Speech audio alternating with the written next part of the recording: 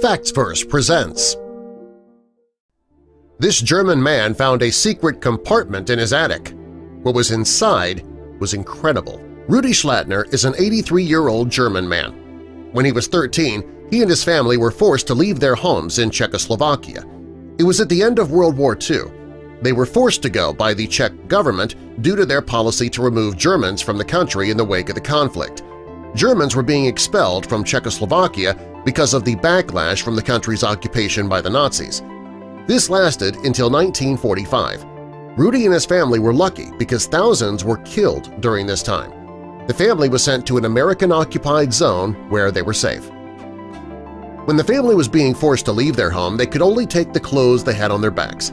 Everything in the house now belonged to the Czech government, but Rudy's father wouldn't accept this. Rather than leaving everything in plain sight, Rudy's father hid many of their precious items inside the home. He hoped one day they'd be able to return to the house to gather their things. Unfortunately, this did not happen. The family never returned to the home, and it was later remodeled and became a kindergarten. Rudy remembered what his father told him about hiding their belongings, though, and he wanted to return to the home to see if anything was still there.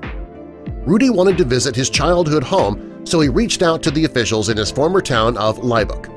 The town officials allowed him to return to the house to see if the family's things were still there. Rudy knew that if he found his belongings, they would not be his. When the Czech government expelled the Germans, they also confiscated their belongings. This meant anything Rudy did find on the property is still the property of the Czech government. When Rudy went to his boyhood home, he was accompanied by representatives from the museum in Laibach. The local mayor, the kindergarten manager, and an archaeologist were also present. When Rudy got to the attic of the building, he began tapping on the ceiling boards with a hammer. He was listening for a sound. Next, he searched for a length of rope that his father told him about. When he found it, he pulled.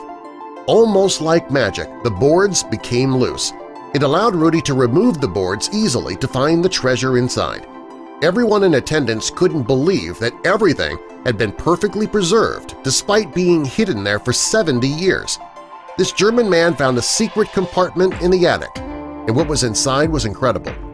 The first things that Rudy pulled out included a set of skis, hats, clothes hangers.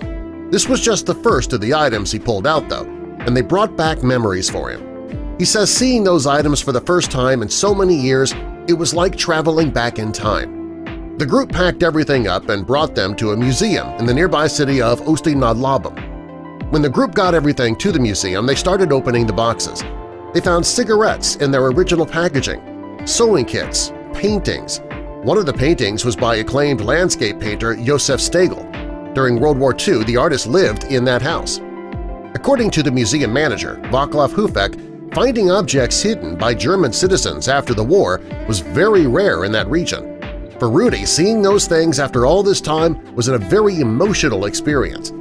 He didn't like the fact that he would not be able to stake a claim on his family's things, but he was willing to help the museum identify all the objects that were found. And the haul was huge. It took hours for Rudy and the others to go through and catalog every item. Rudy's not the only person who found hidden items from his past in the building.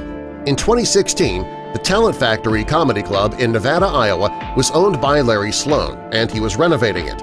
For decades, it had been a popular place for comedians, illusionists, and singers. Before that, it was a movie theater. It was built in the 1920s, and many people sat in the balcony to see their favorite films. During the renovation, the workers found a wallet that had slipped between the floorboards. The workers opened the wallet and realized it belonged to a child when they found a Boy Scouts of America card and ration stamps in it. This told them the wallet dated back to World War II. After checking the wallet and doing some digging, they managed to find the owner. The wallet belonged to Claire McIntosh, who lived in Des Moines, Iowa. He was 85 years old by this time and agreed to meet Larry Sloan at the theater to recover his wallet. When he saw the wallet, he says he was taken back in time. Claire says it's incredible that Larry went to such great lengths to return such an old wallet. Have you ever lost something that you'd love to get back again? Tell us about it in the comments, and subscribe for more.